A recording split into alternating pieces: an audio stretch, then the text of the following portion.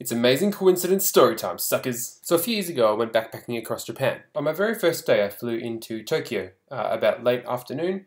Um, and so by the time I checked into my hotel in Shinjuku, it was already dinner time, and I was super hungry.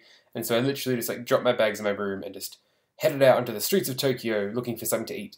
So I found this cozy little pub, this kind of down like a side street, and you know just went in and sat at the bar and got chatting with the bartender somehow. His english was quite good. Before long all his friends came in just this group of young japanese fellas and you know so i just kind of hung out with those guys for the night which was cool. So one of the guys names was goichi and he was living in sydney at the time.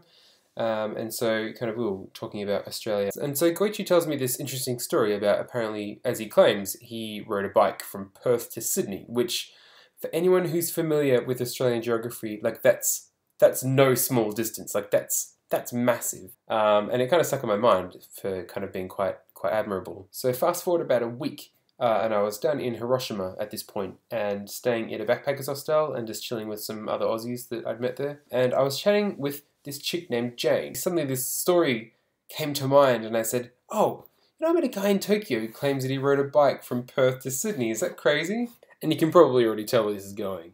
To which Jane replies, that is amazing. Almost as amazing is the fact that I also heard the same story. It's like, so who told you that story? And she says, and I couldn't believe this when she said it, just some Japanese guy that me and my friends were hanging out with. His name was um uh Goichi Goichi. And of course my face is just like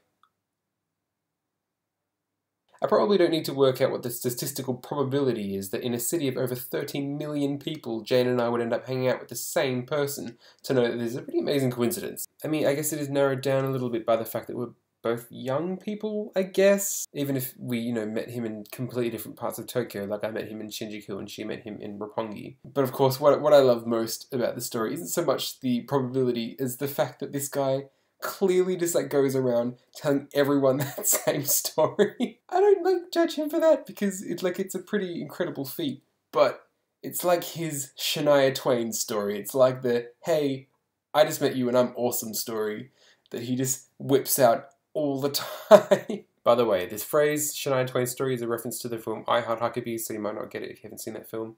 Um, but one of the characters met Shania Twain and convinced her to eat like chicken one time without her realizing because she's a vegetarian. And like this character like uses that story on everyone to try and come across as being awesome. And homework for this week um, is to try and f- find out what your Shania Twain story is and to make a video telling it for the whole world to know um, that that one's one of mine. And you know, it's about someone else's Shania Twain story, so it's a Shania Twain story twice removed, I guess. uh... I guess life's just on the up and up for me, isn't it?